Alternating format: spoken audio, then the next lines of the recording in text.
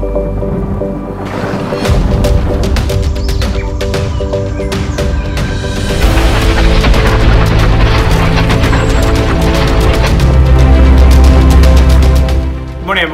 you're having a great day so far today.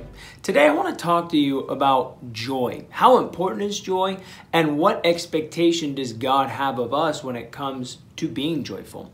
Let's look at a scripture in 1 Thessalonians chapter 5, in verse 16. I love this scripture when it comes to joy. Paul, speaking to the church of Thessalonica, says, Be joyful always. Pray continually, give thanks in all circumstances, for this is God's will for you in Christ Jesus our Lord. Right here, the scriptures teach that there's one expectation. You should be joyful always. No matter what is going on, no matter who, what, when, where, why, how, you should always be joyful. Jesus didn't die on the cross so that you would get discouraged or disheartened by life's circumstances and challenges.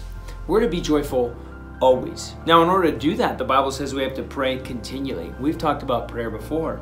And then it says you've got to give thanks in all circumstances. We could talk about that later. We got to be thankful for what we have and not fixate on what we don't have. Being joyful is about this.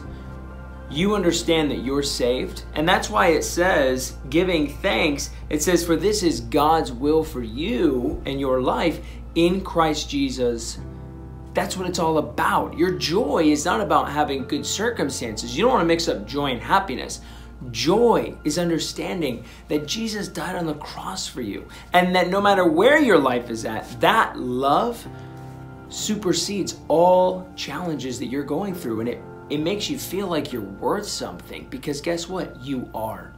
And so as we dig deep roots, in our relationship with God, let's make sure we understand what joy is and let's make sure that we are joyful always because that is the expectation. Have a great day.